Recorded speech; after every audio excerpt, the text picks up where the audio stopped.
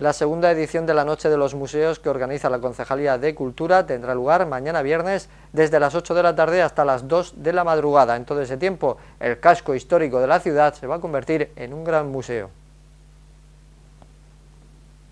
La segunda edición de la Noche de los Museos se va a celebrar mañana viernes día 12 de mayo y convertirá el casco histórico de la ciudad en un auténtico museo repleto de música, arte, patrimonio y le dará sin duda una mayor vida a ese entorno histórico del municipio.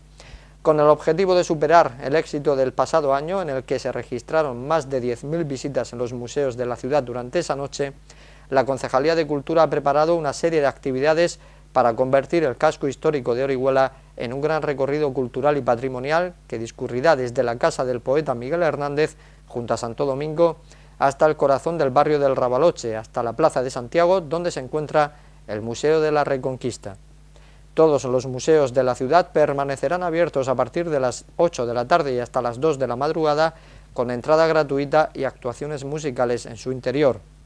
Además, en la gran mayoría de ellos se inaugurará ese mismo día importantes muestras artísticas. Entre las novedades de esta nueva edición destaca la apertura del refugio antiaéreo de la Guerra Civil situado junto a la iglesia de Santas Justa y Rufina.